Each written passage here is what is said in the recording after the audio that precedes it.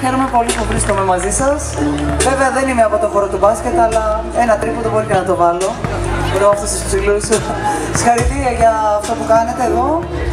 Εύχομαι να γίνουν και άλλε τέτοιε δράσει. Και καλή επιτυχία, παιδιά. Βάλτε όσο περισσότερο καλάθι μπορείτε. Το καλάθι που μα χρωστάτε. Το καλάθι? Τώρα. Το βάλω σε λίγο τώρα. Όχι τώρα, τώρα. Μία μπάλα! Δεν κάνει, δεν παίζει.